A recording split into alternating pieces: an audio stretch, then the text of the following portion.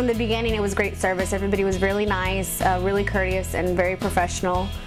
Um, when the tech came out to come and look at the system, he did something that none of the other companies did. Um, he did a very thorough um, diagnostics of my system, of the ductwork, of measuring the house. I mean, just really a thorough job with making sure and seeing where, what my concerns were and figuring out why I was having those issues. They covered everything. Um, they wore the booties.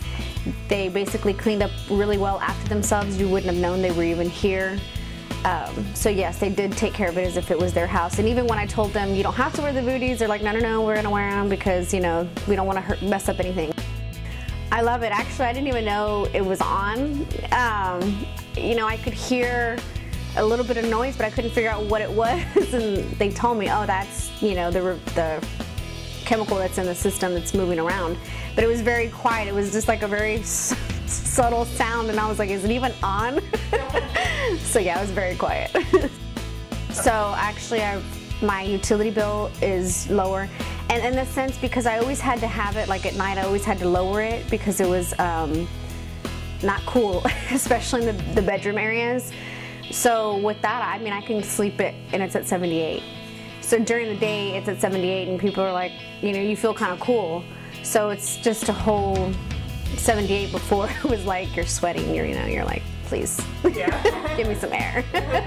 Actually, I used to wake up with a, a headache every morning because I'm allergic to dust mites, which they're everywhere.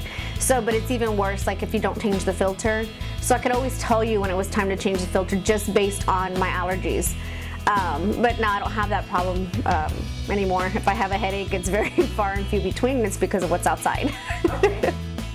Um, I told the tech when you know he came for the estimate.